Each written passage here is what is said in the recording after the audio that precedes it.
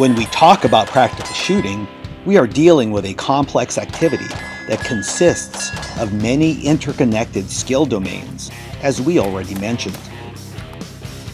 If you rely on the conscious mind to control all the technical elements that must work in synergy, the more complex the action becomes, the more some of these elements will begin to degrade. The reason is simple. The conscious mind can focus on only one process at a time. The true multitasker is the subconscious mind. It can manage up to millions of processes simultaneously. Through mindful repetitions, we do not actually develop muscle memory, as many instructors like to say, because muscles themselves have no memory. What we truly develop are new neural pathways and then refine them.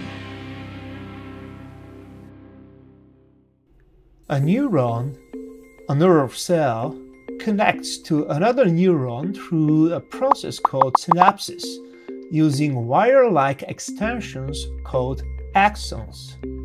The neural signal is an electrical impulse.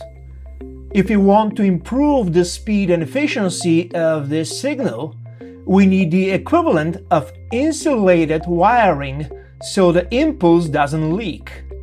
In our neural system, the insulator is a fatty substance called myelin. The thicker the myelin sheet, the faster and the more reliable the signal becomes, and the deeper the skill is embedded into the subconscious.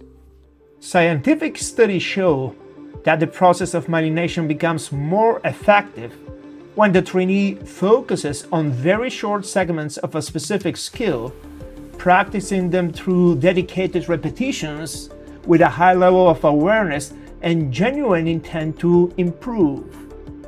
By concentrating on these micro drills, what we call primitives, we create an automated correct response.